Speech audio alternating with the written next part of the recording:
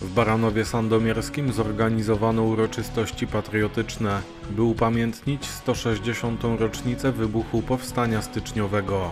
Program obchodów był bardzo bogaty i przybrał formę żywej lekcji historii. W szczególny sposób wspominano lokalnych bohaterów, którzy wzięli udział w największym polskim zrywie niepodległościowym. Odprawiona została uroczysta msza święta. Na cmentarzu parafialnym złożono wiązanki kwiatów i zapalono znicze. Były także prelekcje, wystawa oraz pokaz filmu o powstaniu styczniowym. Powstanie styczniowe wybuchło 22 stycznia 1863 roku i trwało aż do października 1864 roku. Mimo niepowodzeń poprzednich zrywów niepodległościowych było żywym dowodem na to, że Polacy nigdy nie pogodzili się ze stratą wolności. Powstanie było wymierzone przeciwko Imperium Rosyjskiemu, a udział w walkach i potyczkach wzięło około 200 tysięcy osób. Obchody w Baranowie Sandomierskim rozpoczęto od wspólnej modlitwy w intencji ojczyzny. Okazuje się, że ten ich wysiłek, ten ich trud, oddane życie, jak też później ponoszone represje, cierpienia, nie poszły na marne. Pozornie, można powiedzieć, tak fizycznie przegrali, powstanie upadło, ale ono jednak dalej żyło i owocowało w kolejnych latach, w kolejnych dziesięcioleciach.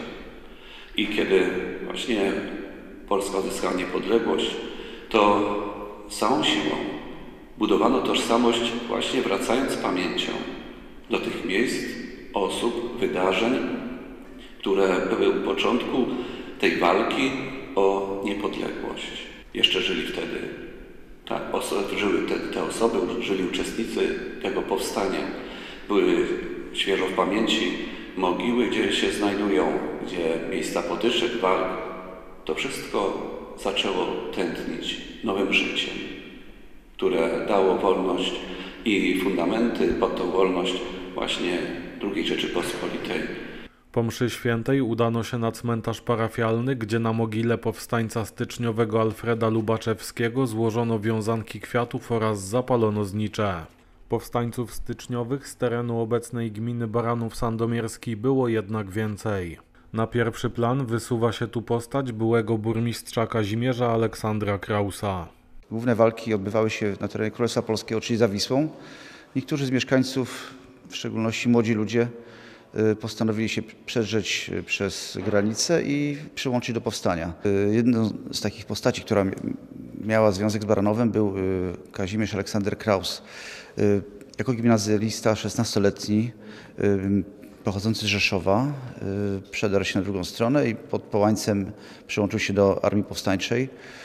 Walczył w kilku bitwach jako młody chłopak poszedł walczyć na drugą stronę Wisły e, do, do Królestwa Kongresowego e, w powstaniu styczniowym. Następnie wrócił tutaj, był burmistrzem, tworzył Ochotniczą Straż Pożarną. Po jakimś czasie wrócił swoje rodzinne strony do, do Rzeszowa, gdzie też był przez wiele lat zastępcą burmistrza Rzeszowa, tworząc też i, i pracując w ramach e, tej, tej, tej pracy takiej organicznej, pozytywistycznej, tworząc różnego rodzaju stowarzyszenia, organizacje też na Rzeszowszczyźnie. Jego życie i patriotyczna postawa stały się inspiracją do organizacji spotkania. Po powrocie do Rzeszowa Kazimierz Aleksander Kraus był naczelnikiem Straży Pożarnej oraz wiceprezesem Towarzystwa Gimnastycznego Sokół. Mimo, że zmarł w młodym wieku, mając tylko 49 lat, to pozostawił po sobie ogromny dorobek.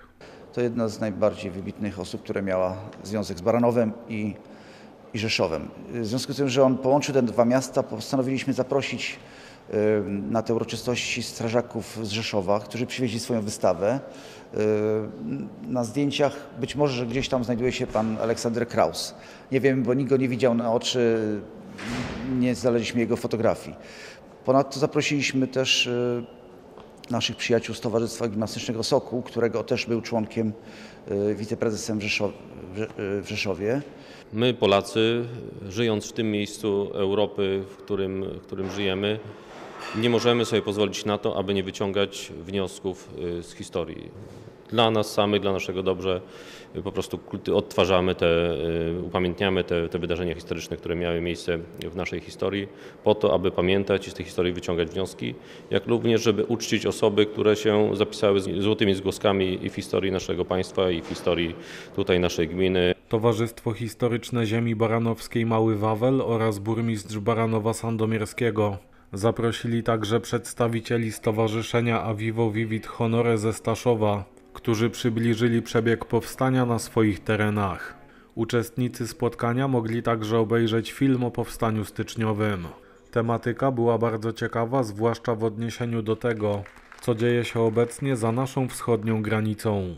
Data istotna, prawda? 160 lat bardzo ważnego wydarzenia, które, które się zapisało ym, no, dosyć tak znacząco w naszej, naszej polskiej historii i odcisnęło na, na niej potężne piętno.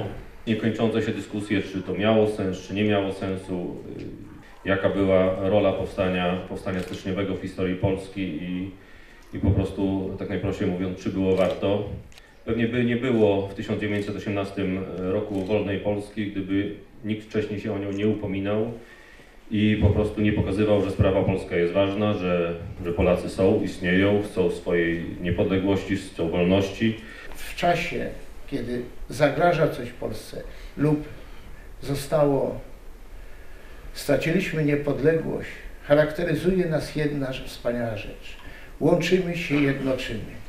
Tylko to jednoczenie niestety trwa krótko. Jakbyśmy popatrzyli przez historię, ledwo się zdążymy zjednoczyć, zaraz się dzielimy. Patrząc na obecną historię, na obecny czas, dzisiaj czytałem sobie w internecie u, w Republice Ugańskiej palenie wszystkich ukraińskich ksiąg, niszczenie bibliotek. Minęło 160 lat, mentalność pozostała ta sama. Warto również wspomnieć o innych bohaterach z ziemi baranowskiej. To m.in. Kasper Kraus, Marian Marynowski oraz ksiądz Wojciech Sołtysik. W zakresie tej tematyki jest jeszcze wiele do zrobienia, ale Towarzystwo Historyczne Ziemi Baranowskiej Mały Wawel stale poszukuje informacji i postawiło przed sobą spore wyzwanie. Do tej pory udało nam się znaleźć tak niewielu powstańców, ponieważ to mm, 160 lat, więc nie jest tak łatwo znaleźć cokolwiek na, na temat. Zresztą nie wszystkie nazwiska powstańców są w, w dokumentach, ale będziemy próbowali odnaleźć jak najwięcej. Mamy nadzieję, że w końcu powstanie tablica upamiętniająca wszystkie te nazwiska Baranowie powstańców styczniowych, legionistów, którzy walczyli z Piłsudskim.